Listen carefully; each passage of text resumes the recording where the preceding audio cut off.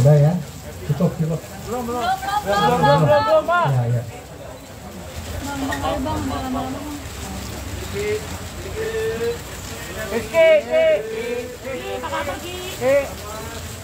Oke ya, terima kasih ya. Oke. Ki apa gitu Ki? Ngomong?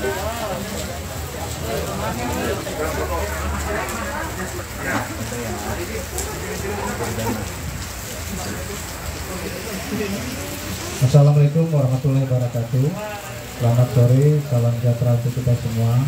Sebagai tersangka, yang bersangkutan diamankan pada tanggal 13 Desember 2021 kurang lebih pukul 20.30 di Jalan Munggang, Kecamatan Keramat Jakarta Timur.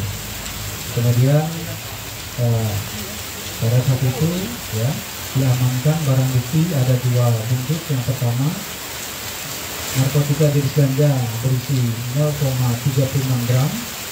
Kemudian yang kedua narkotika jenis ganja dengan berat 0,61 gram.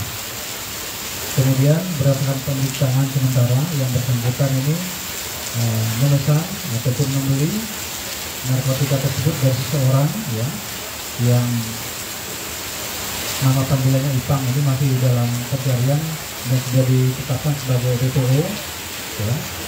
Kemudian yang bersangkutan menggunakan pengakuan dan pemeriksaan yang kita lakukan adalah untuk konsumsi sendiri.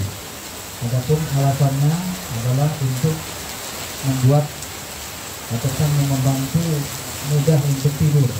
Ya. Karena yang bersangkutan mengalami kesulitan untuk tidur, ya. dan ini ganja yang digunakan menurut pengakuannya membantunya untuk tidur. Kemudian pasal yang dipersangkakan rekan-rekan kepada tersangka adalah 127 ayat 1 Undang-Undang RI nomor 35 tahun 2009 tentang narkotika dengan ancaman hukuman 4 tahun penjara. Itu mungkin yang bisa sampaikan terkait dengan penangkapan saudara Nazar. Mungkin ada satu dua pertanyaan. Terima kasih sudah menonton video ini. Jangan lupa subscribe dan aktifkan lonceng notifikasi supaya kamu nggak ketinggalan video terbaru dari Grid.